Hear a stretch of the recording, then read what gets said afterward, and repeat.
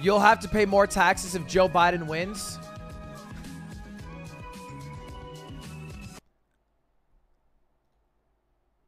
I'm I'm I'm rich. I'm I'm okay with that. It, I do not make less money just because I'm paying taxes. I'm still making a shit ton of money.